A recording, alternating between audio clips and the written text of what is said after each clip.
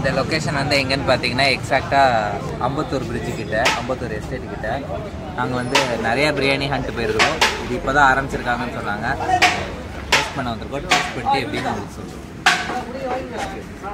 இன்னைக்கு நம்ம எங்கே வந்திருக்கோம் அப்படின்னா அம்பத்தூர் எஸ்டேட் பக்கத்தில் இருக்கிற ஒரு பிரியாணி கிடைக்குங்க.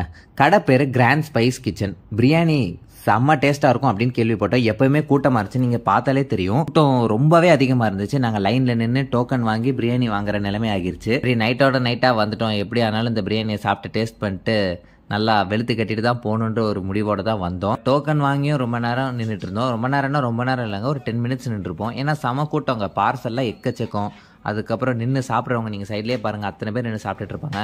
அந்த பிரியாணி பார்த்தாலே தெரிஞ்சிச்சு அப்படி நல்ல அந்த ஸ்மெல் இருக்குது அப்பா அப்படியே நம்மளை போகிற வழியிலே அப்படி இருத்துருச்சுங்க சரி வாங்க நம்ம நல்லா சாப்பிட்டு பார்த்துட்டு ரிவ்யூ எப்படி இருக்குன்னு உங்களுக்கு கரெக்டாக சொல்லுவோம். ஒரு வழியாக பிரியாணி வந்துருச்சு. நாங்கள் ஆர்டர் பண்ணது சிக்கன் பிரியாணி. இங்கே சிக்கன் பிரியாணியும் பீஃப் பிரியாணியும் உண்டு. சிக்கன் பிரியாணி தான் அன்றைக்கி நம்ம ஆர்டர் பண்ணோம். பீஃப் பிரியாணி அன்றைக்கி நம்ம சாப்பிடல. பிரியாணியில் மசாலால இருந்து எல்லாமே பெர்ஃபெக்டாக இருந்துச்சு. பிரியாணி உண்மையிலே செம்ம டேஸ்ட் கண்டிப்பாக நீங்கள் வந்து சாப்பிடலாம். முக்கியமான விஷயம் சிக்கன் சிக்ஸ்டி ஃபைவ் பீஸோட சேர்த்து இந்த பிரியாணியோட ரேட் ஒன் ஃபிஃப்டி ருபீஸ்